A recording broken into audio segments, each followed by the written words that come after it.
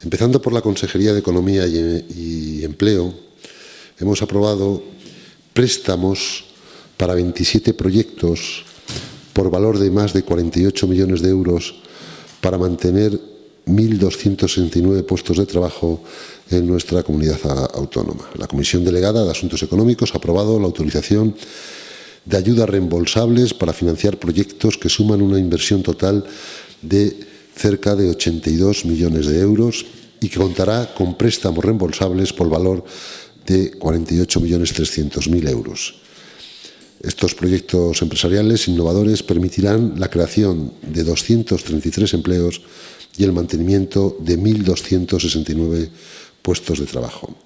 En la nota de prensa tienen el detalle eh, de forma muy, muy pormenorizada de, de la empresa, de dónde está localizada, dónde está ubicada la empresa, el sector al que pertenece, la inversión prevista, el importe del préstamo concedido, los empleos que se mantienen y los empleos que se crean.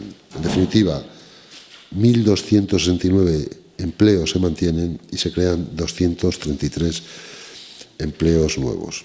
Cambiando de, consejería y pasando a la Consejería de Fomento y Medio Ambiente, destacarles un expediente. Es una inversión de algo más de 1.200.000 euros para la construcción y mejora de infraestructuras para el abastecimiento de agua en las localidades de Pedrosillo de los Aires y Calzada de Valdunciel en la provincia de Salamanca y de la mancomunidad Fuente de Mojón en la provincia de Segovia.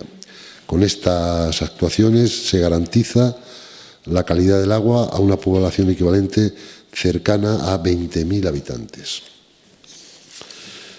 En la Consejería de Sanidad, tres expedientes.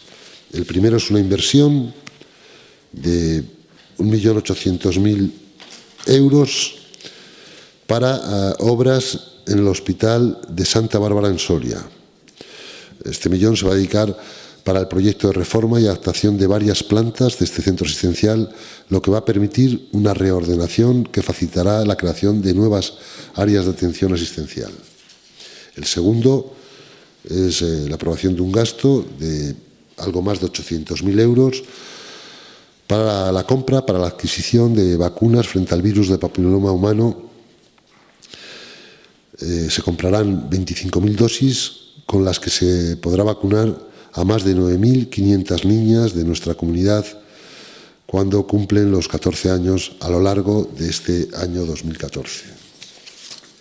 Y el tercer expediente de sanidad es una subvención de 20.000 euros al desarrollo del programa de estimulación cognitiva puesto en marcha por la Asociación de Familiares de Enfermos de Alzheimer de, la provincia de Soria, con el fin de mejorar la calidad de vida de los pacientes en esta y otras enfermedades degenerativas.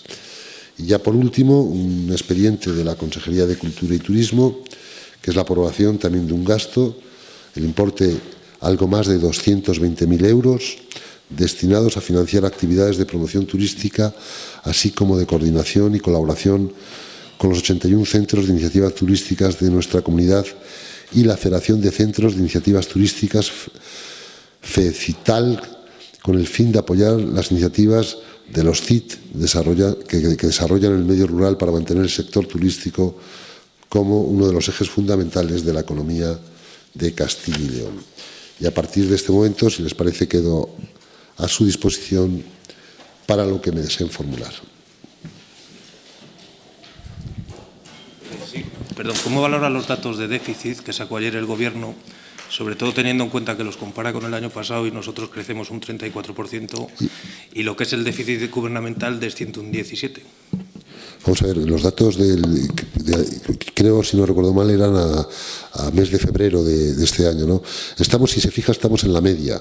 Hoy algún, algún, algún medio, sobre todo del área económica, hace... Eh, hay una gráfica donde aparece que estamos eh, en, en, la media de las comunidades autónomas. Es cierto que hay comunidades, que hay cuatro comunidades, si no recuerdo mal, que, que tienen superávit.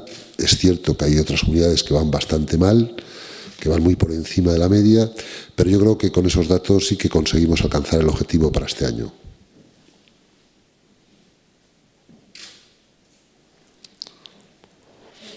Sí, eh, yo tengo una pregunta, eh, yo sé que se de prensa, gobierno,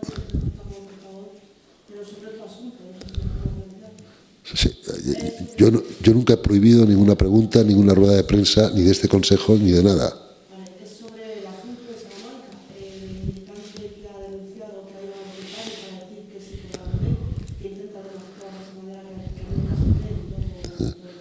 No, no, no, no conozco bien ese asunto. Eh, es cierto que he leído en, en algún medio de comunicación eh, esa información, ¿no? no lo conozco y es difícil valorar algo que no conoce. Yo lo que sí que le digo que como militante del Partido Popular yo nunca he conocido ninguna caja B.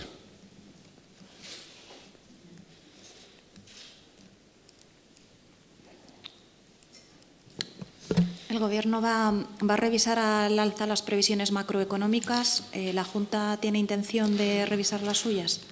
Vamos a esperarnos. Ya sabe que, primero, el Gobierno es cierto que ha anunciado, no sé si lo habrá hecho hoy en el Consejo de Ministros o lo estará haciendo ahora en el Consejo de Ministros, que iba a revisar al alza las previsiones macroeconómicas, ¿no? sobre todo el crecimiento del PIB. ¿no? Nosotros vamos a esperar, sabe que en esto solemos ser muy prudentes, vamos a esperar, vamos a ver eh, cómo avanza el año y, lógicamente, eh, si vemos cuando entremos en verano eh, que, ya conozcamos si la evolución se consolida, esa evolución positiva de crecimiento del PIB, pues lógicamente también la revisaremos. Hoy se le ha publicado en el BOCIL el incremento de la ayuda, la línea de ayudas para eh, los trabajadores afectados por ERES y para los mayores de 55 años. Se incrementa en 2 millones la ayuda, con lo que se llegaría a 8 millones en lugar de los 6 inicialmente aprobados. ¿Hay alguna eh, algunas cifras de los posibles eh, beneficiarios de esas ayudas para que la Junta haya incrementado esos 2 millones?